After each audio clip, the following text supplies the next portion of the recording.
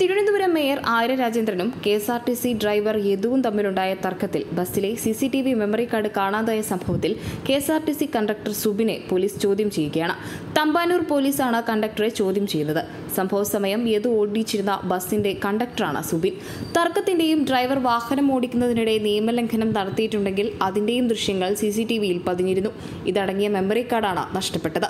K S R T C ഡ്രൈവറുമായി നടുറോഡിൽ തർക്കമുണ്ടായ സംഭവത്തിൽ മേയർ ആര്യ രാജേന്ദ്രനും ഭർത്താവും എം എൽ എയുമായ സച്ചിൻ ദേവിനെതിരെയും കോടതി നിർദ്ദേശപ്രകാരം പോലീസ് കേസെടുത്തിരുന്നു. ആദ്യം കേസെടുക്കാതിരുന്ന പോലീസ് കോടതിയുടെ നിർദ്ദേശത്തെ തുടർന്നാണ് ഇരുവർക്കുമെതിരെ കേസെടുത്തത്.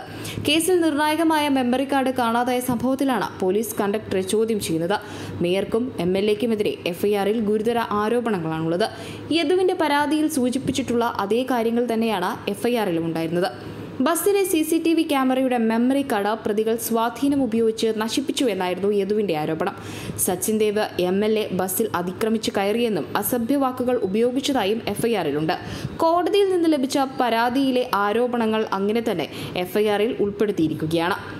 ബസ്സിലെ സി സി ടി വിയുടെ മെമ്മറി കാർഡ് കിട്ടിയാൽ ഇതിൽ കൂടുതൽ വ്യക്തത വരുമെന്നാണ് പോലീസ് കരുതുന്നത്. തന്റെ മൊഴി എന്താണെന്ന് ഭാര്യയോട് പോലും പറഞ്ഞിട്ടില്ല. പൊതുസമൂഹത്തിൽ കെ എസ് ആർ ടി സിക്ക് അവമതിപ്പുണ്ടാക്കുന്ന നടപടി ചെയ്യില്ല. എ എ റഹീം എം പിയുമായി സംസാരിച്ചത് വിവാദമാക്കേണ്ട ആവശ്യമില്ല എന്നും സുബിൻ മാധ്യമങ്ങളോട് വ്യക്തമാക്കി.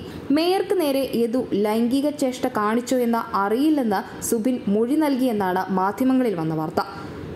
സുബിൻ ഡിവൈഎഫ്ഐ പ്രവർത്തകനാണെന്ന് യദുവും ആരോപിച്ചിരുന്നു.